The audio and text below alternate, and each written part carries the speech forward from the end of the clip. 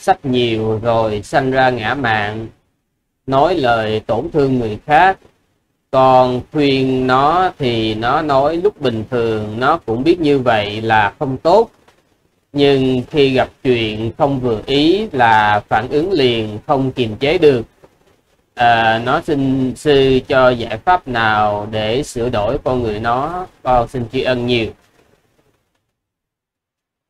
à, cái vấn đề của uh, những ờ, bạn mà còn mới có mười mấy đôi mươi đó thì uh, có đôi khi nó giống như là cái cái ngọn lúa. Cây lúa quý vị biết cây lúa khi mà nó nó còn non thì nó nó nó đứng thẳng. Chỉ khi nào mà nó già dặn nó nặng kiểu rồi á uh, nó mới uh, chịu nó mới cong xuống. Uh, mà người Trung Quốc á, có một câu ngạn ngữ là tuổi trẻ thì khí thịnh. À, tức là cái người trẻ tuổi đó thì à, dễ nóng tánh dễ nóng tánh và dễ làm cái chuyện bốc đồng. À, mà nói theo cái kiểu à, của xã hội đó đó là gì? Là còn ở còn chưa có bị xã hội đánh đập nhiều. Ha, chưa bị xã hội đánh đập nhiều chưa chịu thiệt nhiều và chưa bị dạy bảo nhiều chưa bị xã hội dạy bảo nhiều chưa ăn thiệt thòi nhiều. À, cho nên là mình còn à, mình còn rất là tự hào về à, nhiều việc.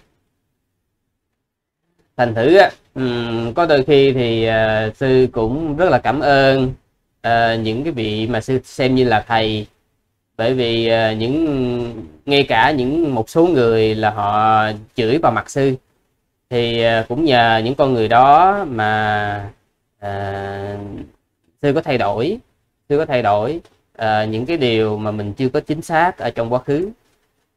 Thì cũng rất là cảm ơn.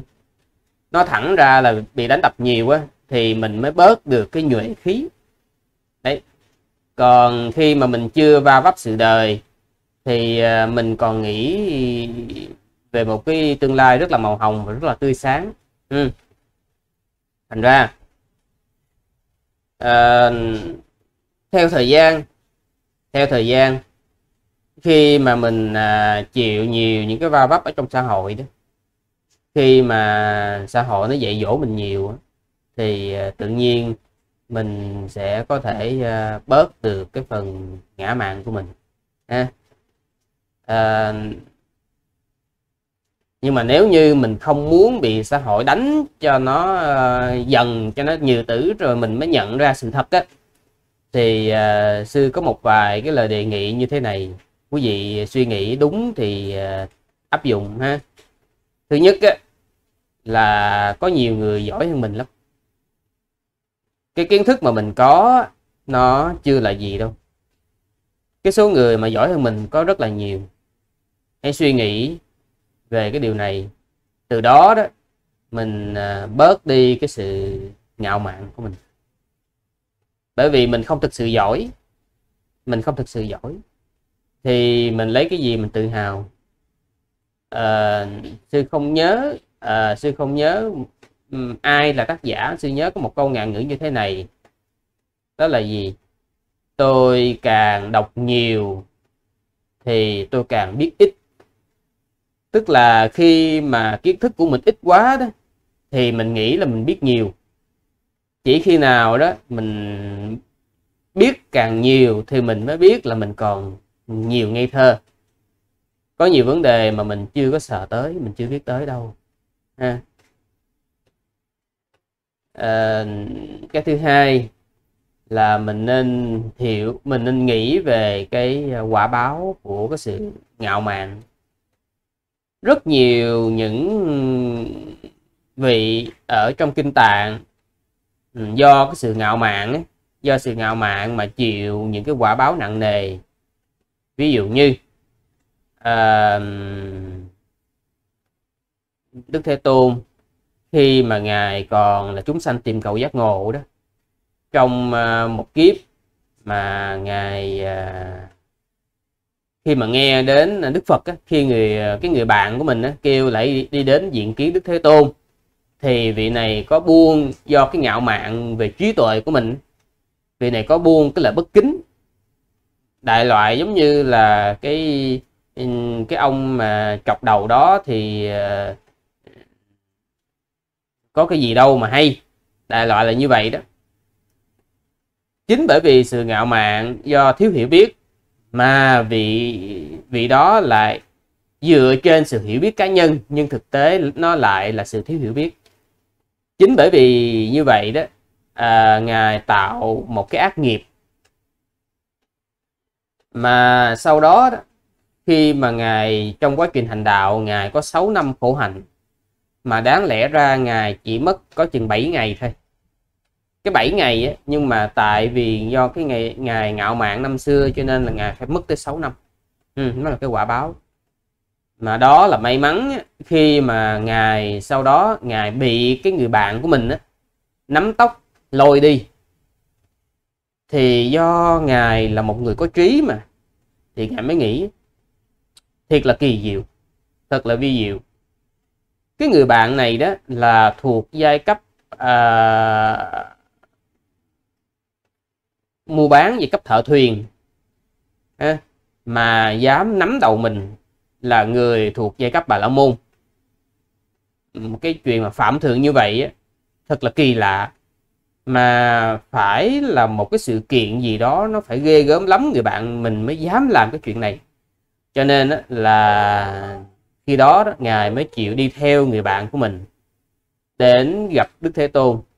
Và sau khi ngài nghe đức thế tôn thuyết pháp ngài mới sám hối và ngài nói với người bạn mình thật là kỳ lạ khi mà bạn có một bậc đạo sư như Đức Thế Tôn mà bạn lại không xuất gia sống đời sống không gia đình.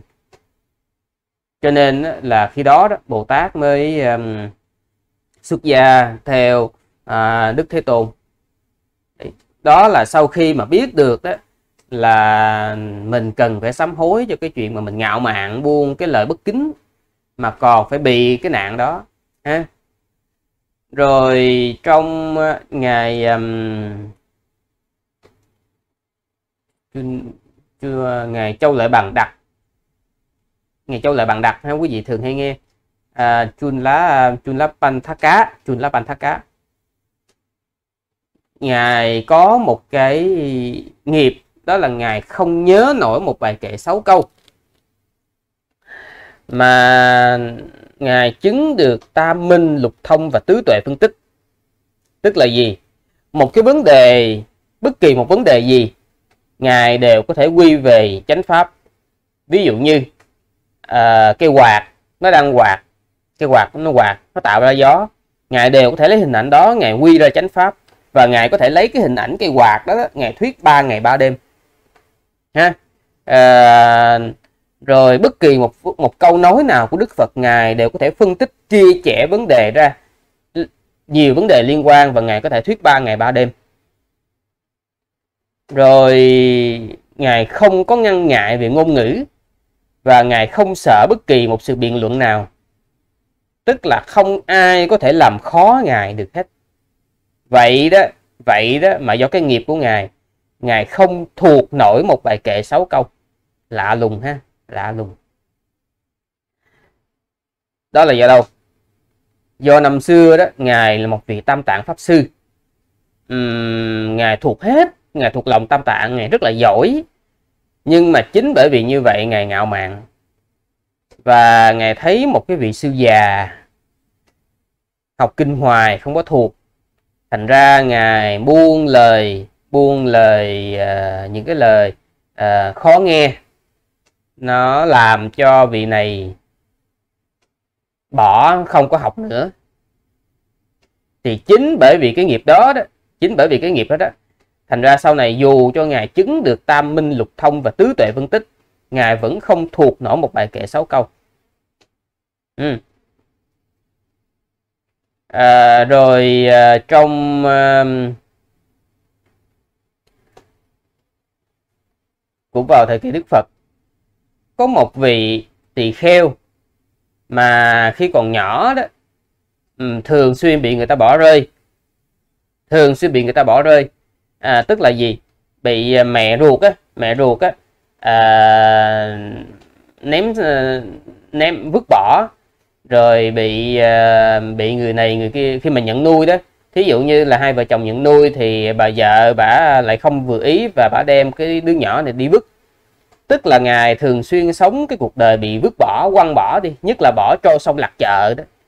À, trong cái lần cuối cùng là ngài còn bị khi mà bỏ xong như vậy đó còn bị một con cá lớn nó nuốt. Nhưng mà nhờ người đánh nhờ người con cá nó vướng lưới và người chạy lưới bắt lên đó, khi mà đem ra chợ mổ thì lòi ngại trong bụng con cá ra.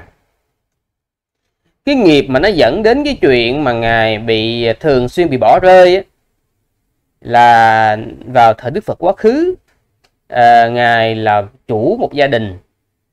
Mà trong khi đó đó à, có một vị tỳ kheo à, để đi uh, quyên góp cái uh, vàng để mà xây cái tháp thờ xá lợi. Thì cái ông cái cái người người chủ gia đình này nè người chủ gia đình này nè, à, mới buông cái lời bất kính đó là ngạo mạn nó buông lời bất kính đó là uh, uh, quăng ông Phật của ông xuống sông đi. Hơi hơi đâu rảnh rỗi đi uh, quyên quyên góp như vậy. Đấy. Chính bởi vì cái lời bất kính đó đó thì à, đương nhiên á, là khi ấm buông là bất kính như vậy á, bà vợ bà hết hồn và bà nói trời anh có đánh em anh giết em thì anh cứ làm anh thoải mái anh mắng anh chửi chứ còn anh tại sao anh lại buông lời bất kính với đức thế tôn như vậy? Thì à, sau đó đó sau đó khi mà nghe nghe bà vợ nói như vậy đó thì uh, cái người chồng mới hối hận mới hối hận và đem vàng ở trong nhà đem vàng bạc ở trong nhà để mà hiến cho bảo tháp xá lợi để mà xây chùa. Câu chuyện rất là dài sư chỉ tóm tắt một phần ở trong đó thôi mà quý vị thấy vì cái sự ngạo mạn như vậy mà phải trả một cái giá đắt. Đấy. Rồi như dòng tộc thích ca đó do cái sự ngạo mạn về dòng dõi mà thay vì á, à, vua bá nó đi đến cầu hôn thì à, cứ gả cô công chúa cho người ta đi á, cô công chúa quyền quý cho người ta đi không do sự ngạo mạn. Mà đem thì cũng là con của nhà vua con của vua à, nhưng mà con kiểu mà ừ, qua đêm lỡ lỡ chơi quá trớn với ờ, người hầu á đẻ ra đứa con thì đứa con mặc dù con vua nhưng mà giai cấp rất là thấp kém giai cấp nô lệ thì cũng giá đẹp mà. À, cho nên là đem gả cho vua bá sinh nó đi chính bởi vì sự ngạo mạn đó cho nên là mới có cái thảm kịch vua lưu ly diệt dòng tộc thích ca. Cũng bởi vì cái sự ngạo mạn của dòng tộc thích ca cho nên á à, à, chúng ta có thể nghĩ về những cái sự tai hại của cái lòng ngạo mạn. Khi mình ngạo mạn mình buông cái lời bất kính mình buông cái lời à, ác độc buông cái lời thô tục với người khác thì chắc chắn là mình phải tạo cái nghiệp um, cho cái kiếp uh, cho một kiếp ở cái đời vị lai nhắc mới nhớ cõi sư còn nhớ một sự kiện. Có một vị sư một vị sư lớn tuổi rồi lớn tuổi. Thì uh, khi mà gặp một cái vị sư trẻ chưa biết tuổi hạ hai bên như thế nào. Nhưng mà khi mà gặp một vị sư trẻ đó cái vị sư trẻ trẻ đó mới kêu mới cái mới kêu mà kiểu kêu kêu kêu với đó kêu với. Thì uh, cái vị sư già này đó do cái lòng ngạo mạn cho nên mới giả điếc. Tức là không có nghe. Mà quý vị biết là khi mà cái vị sư già này mà giả điếc đối với một vị sư khác thì chính chính cái sự ngạo mạn đó, đó vị này sẽ tạo nên cái nghiệp bị điếc ở một cái kiếp vị lai. Nó ác vậy đó không phải người ta nguyền rủa gì nhưng mà do cái lòng ngạo mạn chính từ cái sự ngạo mạn của mình mà mình làm bất kỳ một việc gì thì mình sẽ đều sẽ tạo một cái ác nghiệp mà mình không thể nào lường trước được mà thậm chí cái giá nó quá đắt cái giá nó quá đắt. À, mình gọi là mình gieo nhân mà mình à, gặt một mùa bội thu. Cái quả ác nghiệp á, mình gặt là bội thu luôn á. À, thu hoạch là bộn luôn á thành ra là mình phải biết suy nghĩ về cái quả báo. Cho nên trước khi mình mở miệng hoặc mình có thái độ nên nghĩ đến cái quả báo của nó ha. Đầu tiên ha à, nghĩ là cái người giỏi mình có rất là nhiều. Mình lấy cái gì mình ngạo mạn ha.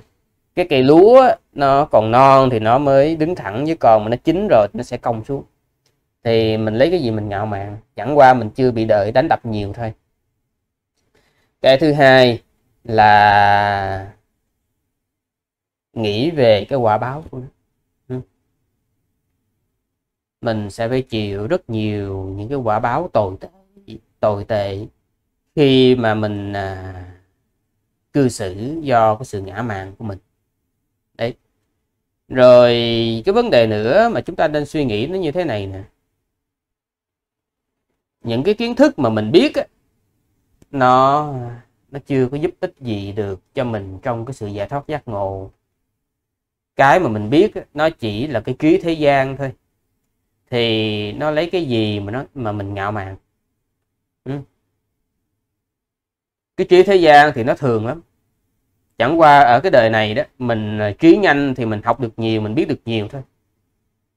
À, chứ còn người khác thì có thể kiếp này là họ thua kém mình nhưng mà thứ nhất á, là dòng sanh tử luân hồi chỉ biết ai ngon hơn ai.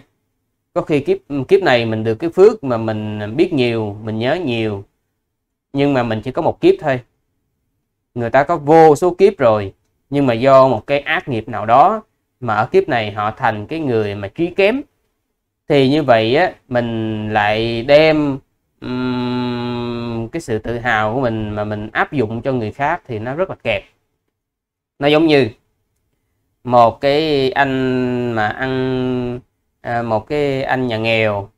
Ảnh dành dụm ảnh dành dụm cả một năm trời cả năm trời. Ảnh mới ăn được một cái bữa sang trọng. À, mới bỏ được tiền ăn một bữa sang trọng. Thì à, khi ảnh đang ăn như vậy đó thì ảnh à, gặp một cái một cái anh mà ảnh đang gặm cái ổ bánh mì không. Thì ảnh ngạo mạn là mình là cái người mà uh, ăn đồ ngon còn cái thứ kia chắc không có tiền cho nên làm ăn ổ bánh mì không. Nhưng mà mình không biết là có khi á, uh, người ta ngày hôm đó người ta kẹt tiền.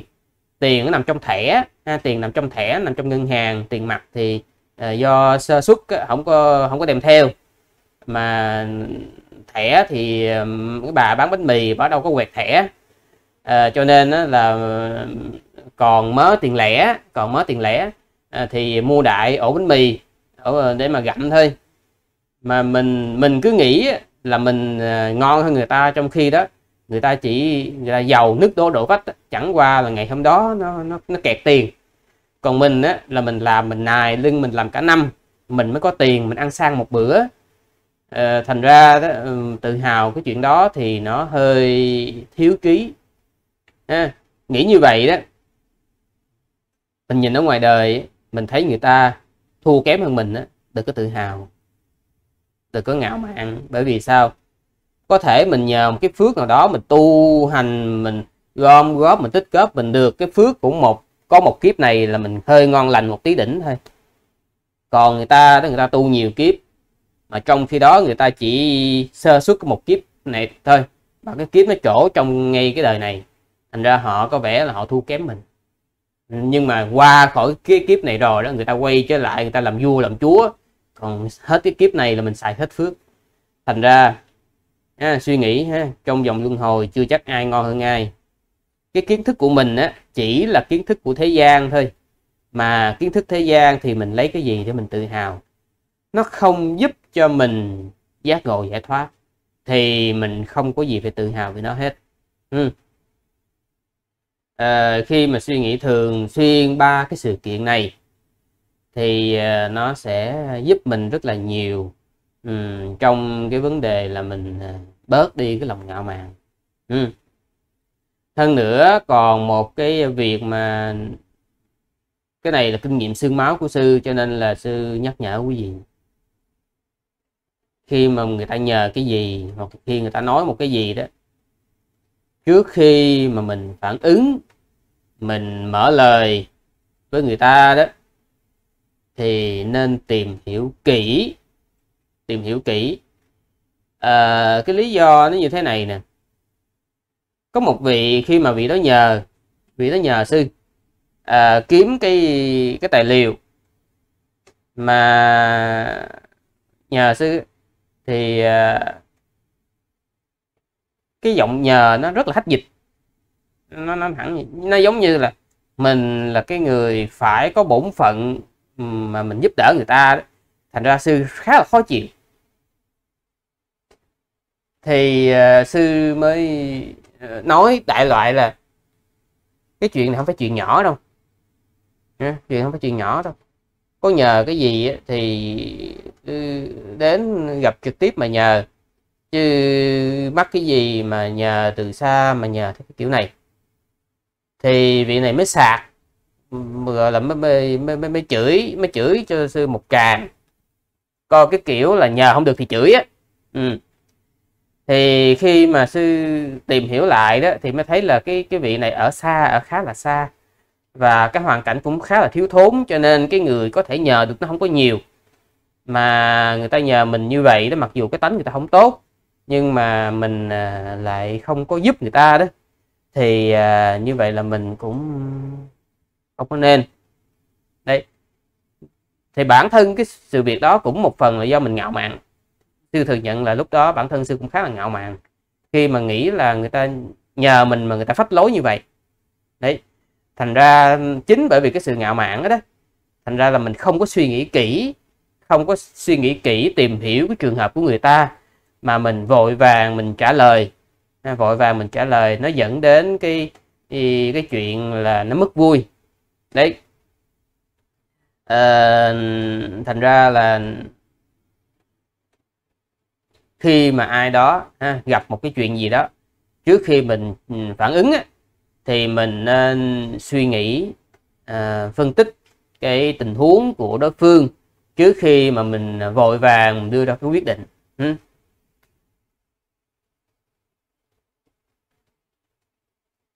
rồi cái vấn đề cuối cùng mà sư khuyên á đó là gì? Nên thực hành tứ niệm xứ. Bởi vì khi chúng ta thực hành tứ niệm xứ á, chúng ta có sự kiểm soát thân khẩu và ý nó khá tốt.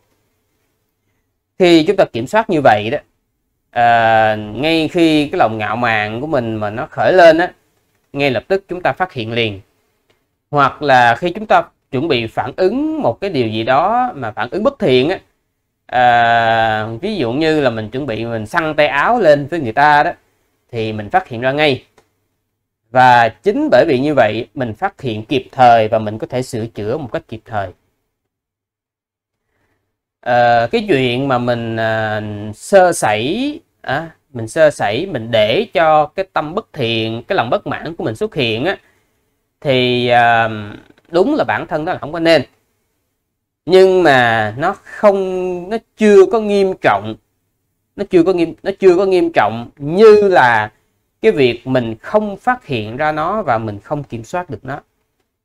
Ừ.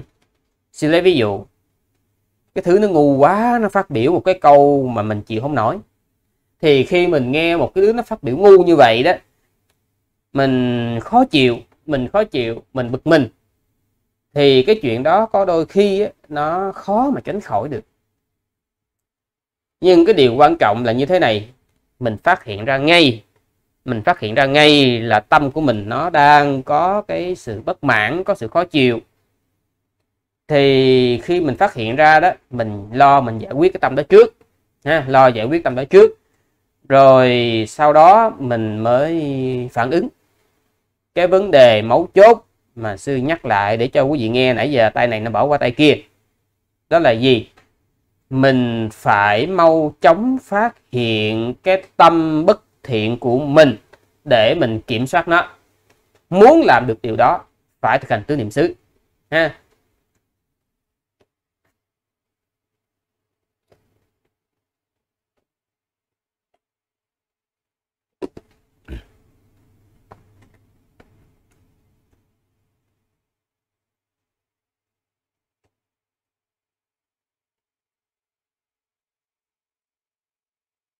Uh, nó có một cái uh, như thế này.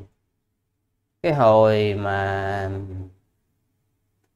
từ mới học cái cái pháp môn mà thiền tông á uh, mình uh, khi đó còn là cư sĩ thôi. Mình mới biết được giáo lý một cách ba mớ đó. Khi đó xiên lắm xiên lắm. Xiên lên mạng đôi coi với người ta. Anh là cái thứ anh không hiểu được cái cái cái tính chất nhất như của các pháp à, mình chịu khó mình đôi co mình cãi lộ mình tranh cãi với người ta đó. À, ham lắm ham lắm. Ừ, lúc mà sau này nghĩ lại mới thấy nó nhục. Tại vì giống như là mình ờ, kiểu ngựa non hấu đá đó. À, mình mới biết một chút xíu thôi. Thì mình mình chạy ra rồi mình à, nói rất là nhiều nói rất là nhiều mình tranh cãi rồi mình làm nhiều chuyện mà bây giờ mình nhìn lại mình chịu không nổi. Đấy. À, cho nên á, à, là nhắc dùm ha. Chúng ta có đôi khi à, mình chỉ mới biết một chút xíu thôi. Giống như cái đứa mà mới tập võ thì nó khoái đánh nhau. À, cái người mà mới biết tí xíu giáo lý đó, mới biết tí, tí, tí xíu cái kiến thức á, thì khoái khoe khoang phát khoác lác. Mà một cái vị thầy nói anh thiền kiểu đó nó không nó gọi là thiền cà phê tức là gì? Ừ, ra cái quán cà phê á, chém chém thiền chém gió. Mà trong cái cái cái bài mà sám hối sáu căn của ờ, thiền vị trúc lâm á, nó có một cái câu là bàn thiền thì tợ thánh trước cảnh như ngu dầu ở cửa không mà không thành vô ngã. À,